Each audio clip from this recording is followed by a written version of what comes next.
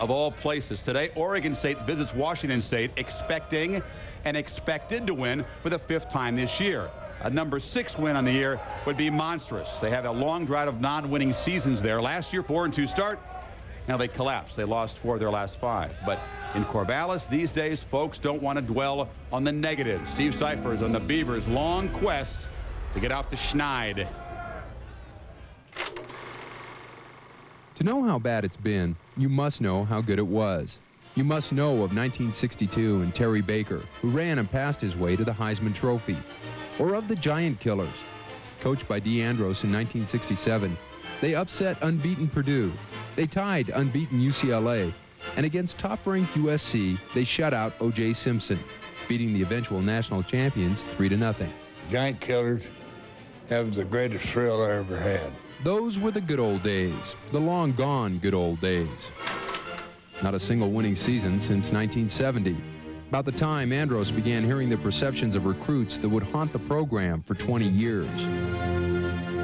They said, Coach, I'd love to come here, but we got better facilities in high school than you have here. And you never saw him, you know, never on TV. I think I saw him once on TV before I came up here, and the, even the, the camera of the, the game just looked a little dingy. Just, it didn't look like a place, you know, I wanted to be. Following Andros, who quit in 75, five men came with winning dreams, but left with losing records. Joe Avezzano, who's won Super Bowl rings as a Dallas assistant, was one of those men in the early 80s. It takes a lot out of you, and, and it wears you out. And it can make you think about change in direction. But I took a lot of pride in the fact that I was able to fight through that with the help of my friends.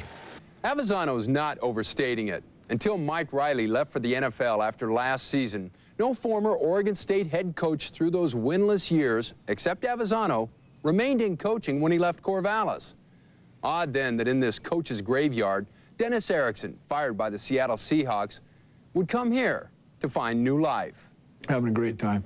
Uh, losing's still bad, winning's still great, so I don't think that ever changes. But Oregon State is changing, and maybe their greatest win since the glory days, the Beavers bury UCLA 55 to 7. Last week was the greatest week I've ever spent in Corvallis. 55 to 7. They've been on a lot of 55 to 7 scores, but it's always been at the other end. And uh, for us to, to, have that kind of win here at home uh, was really unbelievable. And uh, everybody's excited. Excitement began when Riley coached the Beavers to five wins last year. It swelled when Erickson, winner of two national titles at Miami, was given the job.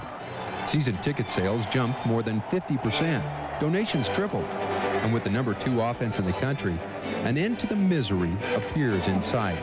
You realize how, how long Oregon State's been a, been a bad deal, you know. And so it, it, would be a it would be a huge thing, I think, for the town and the state of Oregon for us to win uh, six games and go on. To me, that's still losing. Uh, to finish six and five, you know, big deal. That's, that's to me, that's that's not winning. I want to go to a ball game and win it. That can happen, Erickson says, because times have changed. Scholarship limitations, a university commitment, and updated facilities make it possible for this group to someday be remembered as the team that ended 28 years of torture.